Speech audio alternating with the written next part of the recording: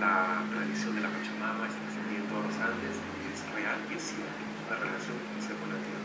Conectada. Está conectada, porque conoce las relaciones entre el agua, la tierra, los paisajes y es un modo de vida. Eh, es un modo de vida importante que hay que escuchar quien, a quien sea. Es además la raíz, la matriz de nuestra riqueza cultural en los Andes. Es la base de la cultura, la base de la vida de altas es también parte de nuestra identidad, de nuestra riqueza. Porque disculpe, pero todavía yo sigo sintiendo que los de, arra- los de arriba son los, realmente que los de abajo son los que se benefician y no hay una retribución no equitativa. ¿Qué está pasando?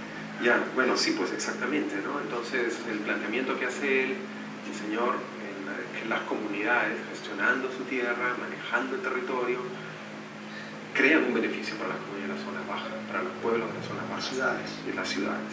Y, por lo tanto, es indispensable que quienes se benefician del agua en las zonas bajas, por el buen cuidado que se en las partes altas, miren hacia arriba, den la vuelta, den la espalda a la montaña y entiendan y se olviden